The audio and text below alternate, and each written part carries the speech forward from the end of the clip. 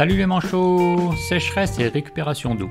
Au travers de cette vidéo, je voulais vous donner mon retour d'expérience sur la récupération d'eau, puisque ça fait plus de 20 ans maintenant que j'ai mis en service mon installation. Je vous donnerai quelques infos pratiques et erreurs à éviter. En bonus, en fin de vidéo, nous ferons le tour du potager.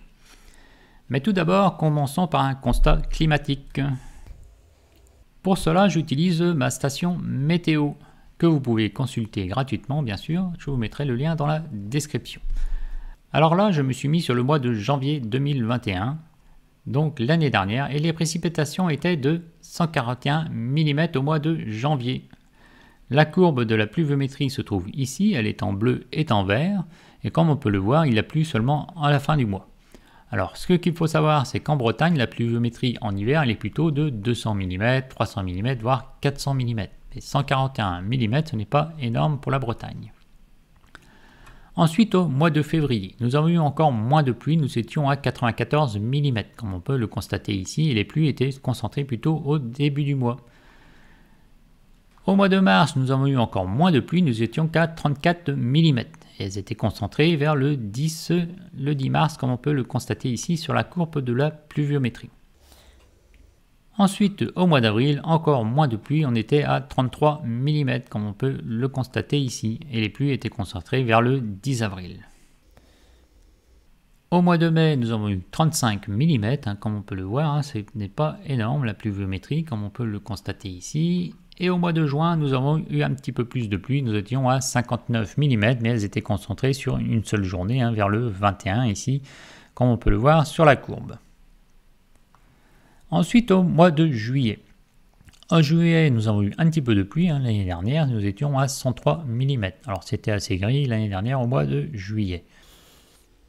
Maintenant, je passe au mois de juillet 2022 et comme on peut le voir, nous avons eu que 1 mm de pluie une précipitation au mois de juillet qui était de 1,52 mm de pluie. Ensuite, au niveau des températures, on peut le constater ici, on est monté jusqu'à 40 degrés. Au niveau des températures, c'était assez élevé cette année en Bretagne. Et ici, toujours pareil, nous sommes au mois d'août en 2022 et nous n'avons eu que 25 mm de pluie avec des températures toujours pareil hein, qui étaient assez élevées, entre 35 et 40 degrés ici au niveau des pics de température. Mais la pluviométrie, c'était que sur une journée ici, qui était vers le 16, le 16 août ici. Donc pas de pluie au mois d'août aussi, c'est pareil. Donc le constat est assez général, hein. il manque de pluie et il pleut de moins en moins. D'où cette vidéo pour vous avertir et les solutions qu'il sera possible d'adopter. Donc stocker de l'eau ne sert à rien. Alors je vous explique le principe de mon installation. J'ai une réserve d'eau qui fait environ 5000 litres qui est en rez-de-jardin. Ce sont 5 cuves de 1000 litres, qui font, ce qui fait 5 mètres cubes. Donc ça, c'est la réserve d'eau de pluie. Hein. Les eaux de pluie vont directement dans cette réserve d'eau. Ensuite, en sous-sol, j'ai une pompe inox qui est représentée ici. Alors ne pas utiliser une pompe comme celle-ci, hein. ce sont des pompes en fonte et acier. Hein. Je vous déconseille d'utiliser ce type de pompe qui peuvent rouiller et contaminer votre eau. Ensuite, la pompe envoie l'eau vers un système de ballon réservoir. C'est un ballon réservoir de 1000 litres galvanisé et plastifié. Alors c'est là que je vous donne quelques conseils, hein. c'est ne pas utiliser de type de réserve comme celle-ci hein, qui font environ 30 ou 24 litres avec une vessie, c'est source de panne et d'ennui.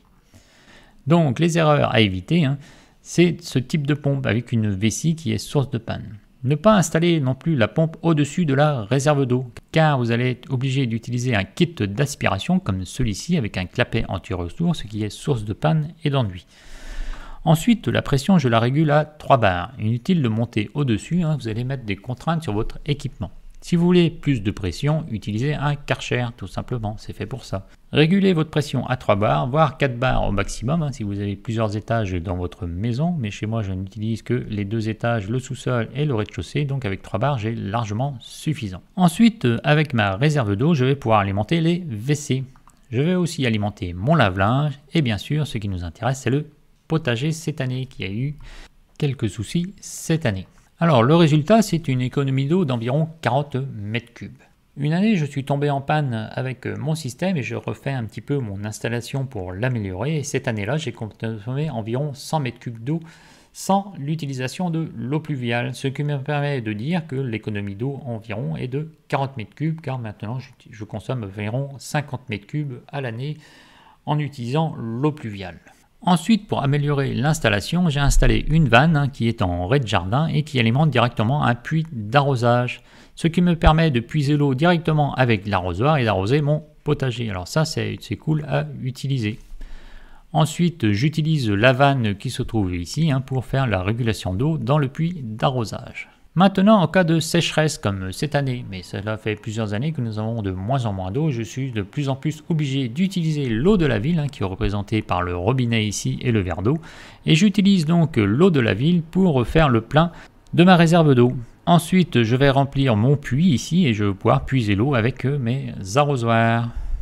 Maintenant, pour mon installation au niveau des WC et du lave-linge, ben, c'est le même principe. Hein. Je remplis l'eau avec euh, l'eau de la ville, hein, mes citernes d'eau, pour ne pas tomber à sec. Et j'utilise la pompe qui remplit le réservoir à trois barres et qui alimente les WC et le lave-linge et bien sûr le potager.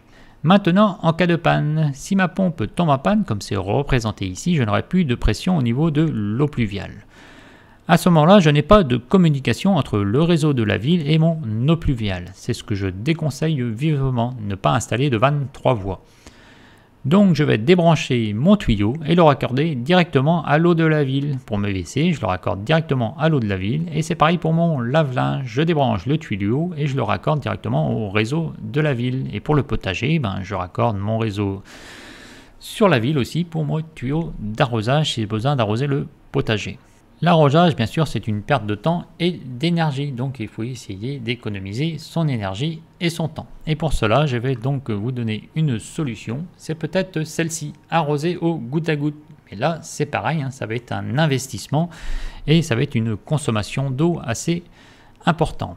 Vous pouvez aussi arroser avec des jets automatiques votre potager, mais ce n'est pas ce que je vais utiliser. Moi, ce que je vais utiliser, ce sera plutôt ce système, la solution des Zoya pour faire des économies d'eau. Le principe, il est là, hein. vous pourrez consulter un peu des informations sur les Zoya ou les Zolas sur Internet, mais je vais investir dans des citernes comme celle-ci.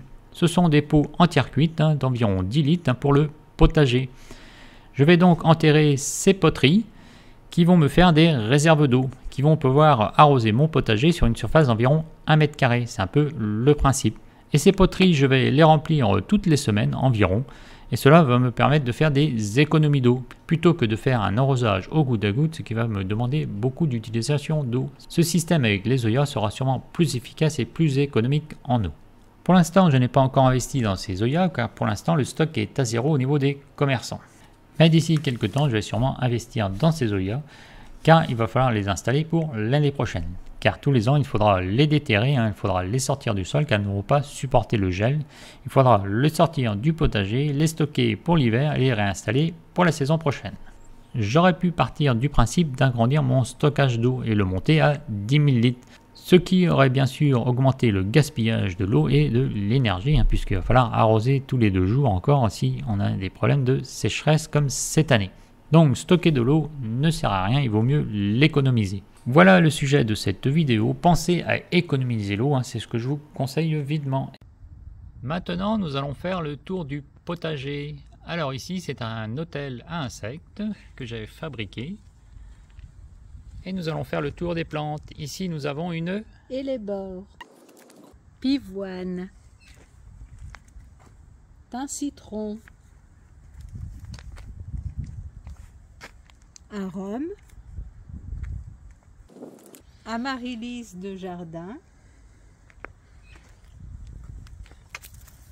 melon, petit gris de reine, sarriette, Ici, nous avons un plan de thym hein, qui supporte très bien la chaleur. Thym, alors c'est un thym que j'ai récupéré dans le sud de la France, hein, dans un chemin, et qui s'adapte très bien à la température de la Bretagne. Bruyère, salade à couper, conservée pour faire de la semence. Alors, la salade à couper, c'est des feuilles que l'on cueille au fur et à mesure des besoins. On ne coupe pas le plant, on ramasse juste les feuilles au fur et à mesure. Verveine citronnelle, Qui nous sert pour la tisane. haricots verts, Alors, c'est une petite production hein, d'haricots verts, hein, ce n'est pas un grand, grand jardin. tomates, scabieuse du Caucase, céleri rave, courgettes, trois variétés, Les blanches de Virginie, les Gold Rush et les verts d'Italie. un plant de persil pour conserver la semence, Alors, ici, c'est un plan de fraisier. Alors, je tiens à vous préciser tout de suite que ce n'est pas moi qui jardine. Je suis juste l'assistant. L'assistant, ça consiste en quoi? À faire des structures comme celle-ci, hein, des protections avec un filet pour protéger les fruits des oiseaux. betterave rouge plat d'Égypte, Très bonne production de betteraves rouges. Pour la cuisson des betteraves rouges, je les fais cuire dans une casserole d'eau. bien salée pendant une heure. Ensuite, je les enveloppe dans une feuille d'alu et je les mets dans mon barbecue sur de la braise pour les faire cuire pendant environ une heure. C'est très très bon. Patate douce, Beauregard, Alors ici c'est pareil, hein, c'est l'assistant qui participe et qui fait la structure ici en mode Tipeee pour faire pousser les patates douces. Alors là nous avons un premier potager hein, qui fait environ 10 mètres carrés. Ça c'est le premier potager. Ensuite nous avons un deuxième potager qui fait lui aussi environ 10 mètres carrés. Alors c'est parti. Ici nous avons une belle plante fleurie. pétunia, tomate cerise, Alors, cette année, nous avons de la chance hein, car nous n'avons pas de milieu. Encore des tomates. un poireau pour garder la semence, haricots verts, Et derrière, ici, nous avons des, carottes, un autre plan de... céleri rave, haricots beurre,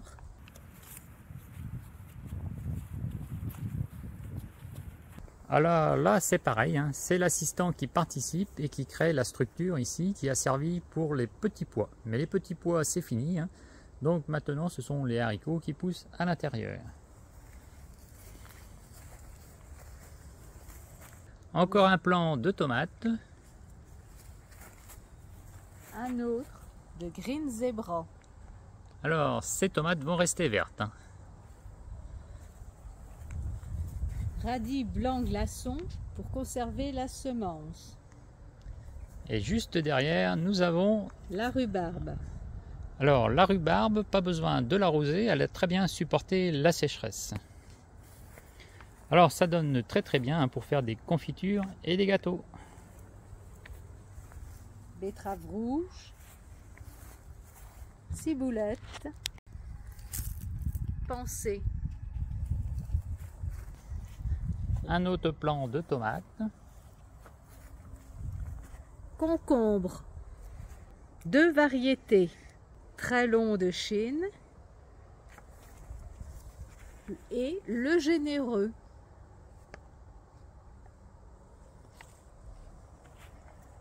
Là aussi, c'est l'assistant qui participe et fabrique la structure pour supporter les concombres.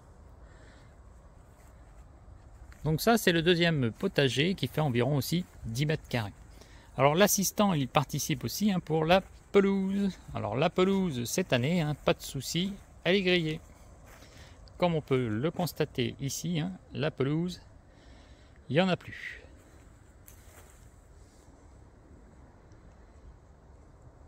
Alors, nous avons même un plan de salade, hein, c'est la même salade, hein, c'est une salade à couper qui pousse directement dans la pelouse, puisque j'ai refait cette petite partie là de pelouse, mais elle est complètement grillée. Tout autour du jardin, nous avons des plants de petits fruits que je n'arrose pas bien sûr, ainsi que des plantes aromatiques, de la mélisse, du romarin, de la menthe et de l'origan. Pour les plants de petits fruits, j'ai du cassis, des groseilles, des groseilles à macro, de la cassaille. Et l'assistant, il participe hein, pour éliminer toutes les chenilles vertes qui envahissent tous ces plants. Il faut faire un tour tous les deux jours, hein, sinon pas de récolte, car les chenilles dévorent les feuilles à vitesse grand V et le plant se retrouve à nu. Nous avons aussi un plan de goji, mais pas encore de récolte, donc nous verrons si les goji vont produire. Nous avons aussi des framboisiers remontants et non remontants, des myrtilles et des artichauts. Voilà pour ce petit tour rapide du jardin. Le but de cette vidéo est de vous aider à faire le bon choix dans vos investissements.